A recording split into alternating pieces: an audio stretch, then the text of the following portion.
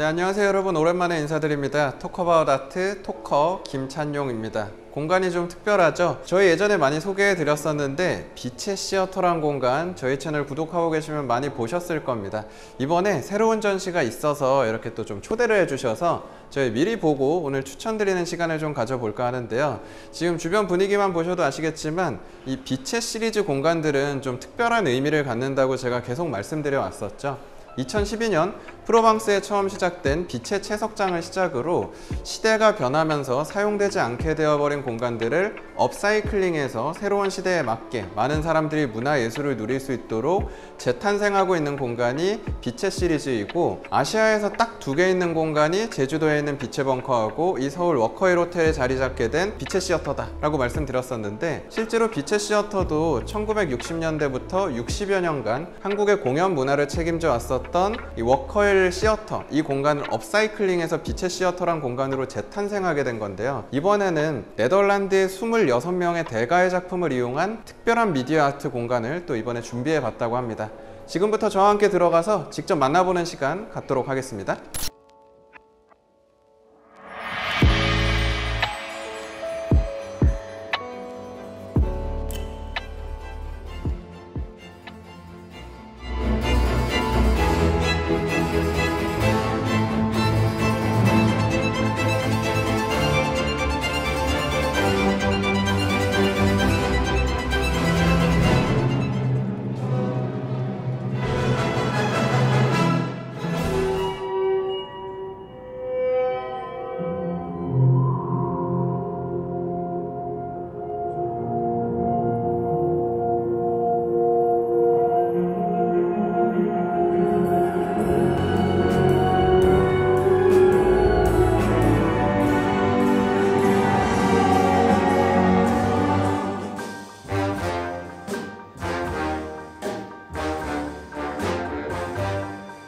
Fish in the sea, you know how I feel. River running free.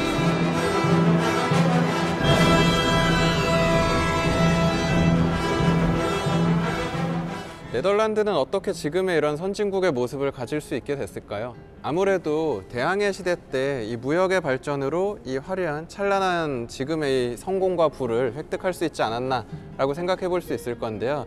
이 공간에 와보시면 이 아름다운 당시의 이 풍경화들, 풍속화들을 통해서 네덜란드의 그 변화와 역사를 한 번에 만나보실 수 있을 겁니다. 특히나 지금 이 초반에 나오는 이 공간들, 이제 보시게 될 이 공간이 우리 진주기 거리를 한 소녀로 익숙한 헤이르 메르의 또 다른 대표작 풍경의 상징 작품인 델프트의 풍경이라는 작품이 지금 나오고 있는데요. 이 두 작품이 마우리츠하이스 미술관이 소장하고 있는 가장 상징적인 페이르메르의 상징 작품, 대표작으로 많이 알려져 있습니다. 한 땀 한 땀 그려놓은 이 풍경을 보시면 델프트의 그 고즈넉한 그 마을의 모습을 만나보실 수 있을 건데요. 이 외에도 네덜란드의 이 대표 작가들의 작품을 통해 네덜란드가 얼마나 아름다운 나라인지, 얼마나 아름다운 도시가 많은지 직접 보실 수 있을 것 같습니다. 저와 함께 조금 더 이동해서 그 다양한 도시들 만나보도록 하겠습니다.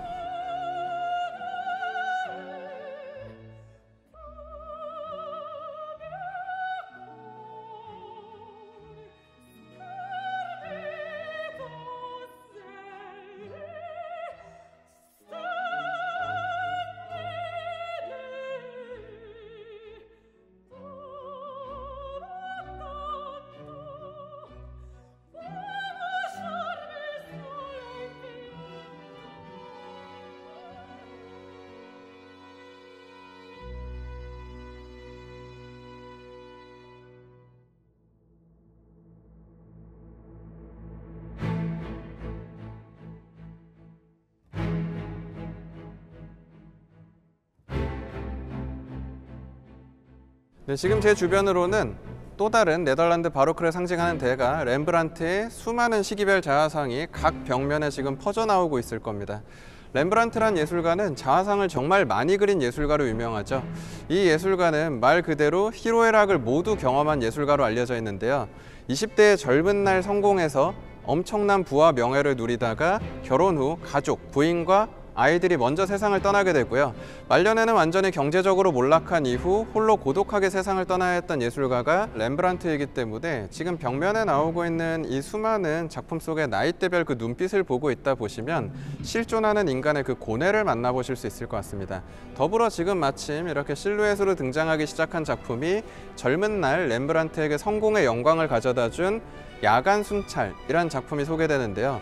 사실 당대에 이런 단체 초상, 그 군중을 그려놓은 초상화로서는 문제가 많았죠. 너무 각자를 좀 다르게 그려놓는 바람에 의뢰하신 분들이 썩 좋아하지 않았다라는 이야기도 많이 존재하지만 이 이후 렘브란트는 정점을 찍고 몰락의 길을 가게 됩니다. 그래서 우리는 이 공간에서 렘브란트란 한 명의 예술가가 어떻게 전성기에 도달했고 어떻게 끝을 맞이했는지를 한 번에 만나볼 수 있기 때문에 작품들을 통해 그 경험을 나눠보시는 것도 좋을 것 같습니다. 네, 여러분 네덜란드 대가 하면 아무래도 우리가 가장 상징적으로 인정할 수밖에 없는 건 빈센트 반 고흐겠죠.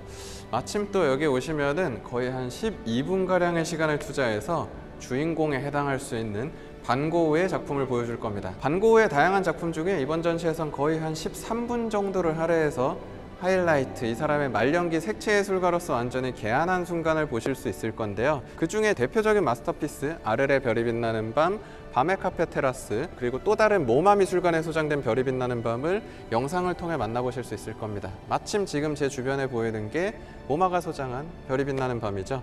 여러분 사연 많이 아시겠지만 이 작품에 가- 그려지던 순간은 고우라는 이 예술가가 폴 고갱이란 인물하고 충돌해서 귀를 절단한 이후 홀로 정신병원에 들어가서 새벽녘 창밖으로 보이는 풍경을 그린 게 이 별이 빛나는 밤으로 알려져 있다 보니까 물론 원화가 주는 매력이 있죠. 하지만 이 거대한 그리고 이렇게 거울에 반사되는 별이 빛나는 밤을 보고 있다 보시면 아 실제 밤 풍경이 이럴 수는 없었겠지만 이 당시 반고흐가 느꼈던 감정은 이럴 수도 있겠구나 라고 공감해 보실 수 있을 것 같습니다.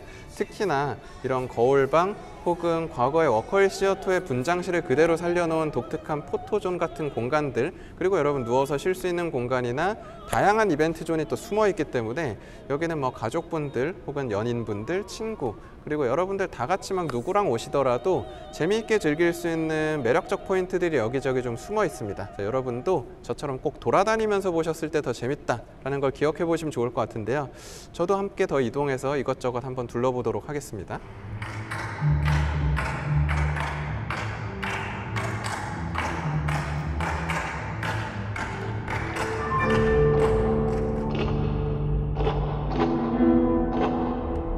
네덜란드 하면 또 이분 뺄 수가 없죠. 피에트 몬드리안의 작품들이 등장하게 될 겁니다. 다만 많이 알고 계신 입생로랑하고도 콜라보레이션 했었던 이 전성기 구성 작품만 소개되는 게 아니고요. 완전 초기에 고전적으로 그렸던 화풍 그리고 상징주의와 야수파라는 장르의 영향을 받아서 과감한 색채 실험을 했었던 과도기의 작품 그 이후에 지금 보시는 것처럼 우리가 몬드리안 하면 딱 떠올리게 되는 구성 시리즈의 작품들을 통해서 이 예술가가 왜 추상이란 장르에 있어서 약간 추상의 엄마 이렇게 소개되는지 혹은 우리 정석으로 접근할 때 이성적 추상 차가운 추상이라고 얘기를 하는 수직과 수평을 기반으로 하는 이 디자인적이면서도 세련된 데스틸, 더 스타일이라는 이 예술에 어떻게 도달할 수 있었는지를 공간을 통해 만나보실 수 있을 겁니다. 더불어서 쭉 시청을 하시다 보면은 몬드리안이 사실 말년기에 뉴욕으로 떠나게 되면서 그 New York City 시리즈 American Boogie Woogie라고 보통 소개되는 좀 더 화려해진다고 할까요? 노란색의 선들과 좀 더 작고 오밀조밀한